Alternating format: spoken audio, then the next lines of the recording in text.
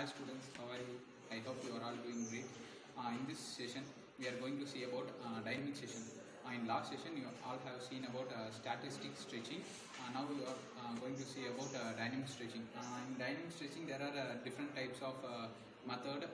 Uh, we can use uh, basically uh, we can do by rope uh, or uh, by pipes. Uh, anything necessary what you have? You can use. Uh, now let's see about uh, wall dynamic stretching okay? I will tell you about uh, this stretching. Uh, this stretching is uh, basically used for uh, uh, on the practice session times. In practice session we have a lot of uh, times to do so we can use this stretching in a practice session time. Okay uh, i i will just uh, give uh, five types of uh, dynamic stretching. Okay you will do at home and uh, you can see what uh, the result may be okay? Okay.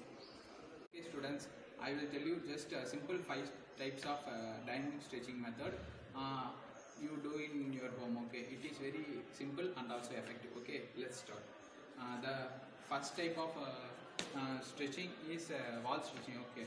Just keep your hands like this and uh, you see your uh, leg okay?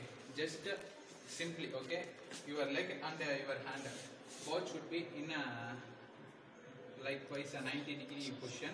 Okay now let's shake your legs to your maximum position okay? Like this okay. Uh, repeat this uh, in a similar ways like uh, right and also to left okay? In this type you can do the same type okay? This is one type of method okay? The another one type of method is uh, jumping method okay? You have to hold your hands like this and you should have to do like this for your back okay? Stretch your leg to your maximum position of your height okay? This this is the type 2 type of stretching okay? This is the second type. Now let's see about the third type of stretching okay? The third type of stretching is uh, about uh, your knee okay? High knee reaction. This this is called as a high knee reaction okay?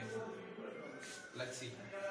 You should have to raise your knee above your chest okay. Like this. This type of stretching you can do easily okay. Now let's see about uh, fourth type of stretching okay. This type of stretching is called an arch type of stretching okay. Like this. Stand like this and okay rotate your head. Like this okay. This is the fourth type of stretching. Now let's see about the last and uh, final fifth type of stretching okay your hand should be like this okay? Okay this is the fifth fifth type of stretching okay? There are lot of lot i mean different types of stretching is there for dynamic. Uh, just i given you uh, five simple step okay? This step you can do easily in your homes. And uh, try and uh, tell me in the next session okay guys? Okay thank you